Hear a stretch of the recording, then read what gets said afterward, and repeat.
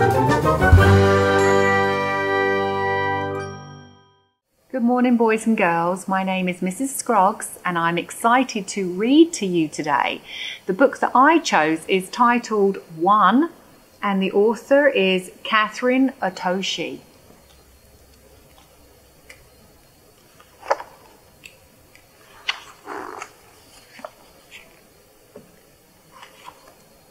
Blue was a quiet colour.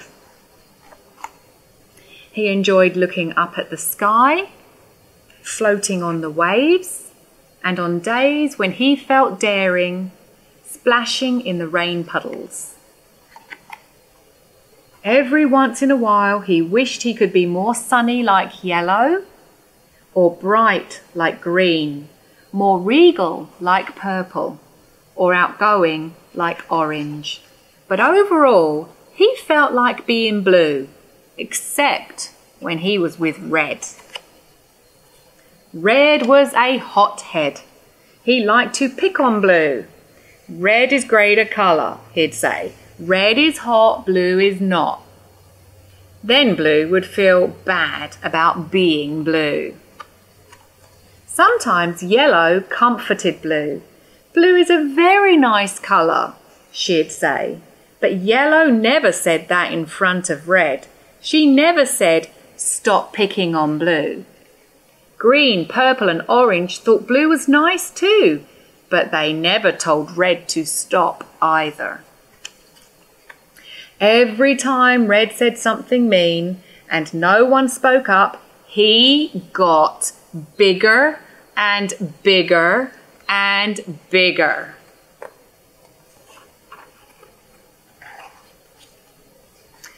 Soon Red grew so big that everyone was afraid of him. No one dared stop him. Red picked on all the colours. Then everyone felt a little blue. Until one came. He had a different shape with bold strokes and squared corners. He was funny. He made the colours laugh. Red saw this and got very hot. Stop laughing, he told Yellow. Stop laughing, he told Green. Stop laughing, he told Purple and Orange. And they did. Red rolled up to one. Stop laughing, he told him. But one stood up straight like an arrow and said no. Red was mad, but one wouldn't budge, so Red rolled away. One turned to the colours and said, If someone is mean and picks on me, I, for one, stand up and say no. Then Yellow felt brave and said, Me too. Green agreed and said, Me three. Then Purple became four and orange became five. Blue saw the colours change. He wanted to count. Red grew red hot. He felt left out. He grew hotter and hotter and hotter. Red raced over to Blue and said what he'd always did. Red is hot, blue is not. But this time Blue stood up tall and became six. Red can be really hot, he said, but blue is super cool.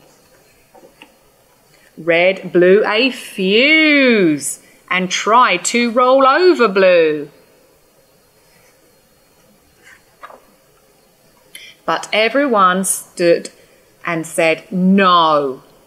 Seeing them standing tall made Red feel very, very very small. Then red turned even redder and began rolling away. Blue called out, Can red be hot and blue be cool? Red stopped in his tracks. Red can count too, said one. Red rocked and rolled and turned into seven. Everyone counts, they shouted. Then Red laughed and joined the fun. Sometimes it just takes one.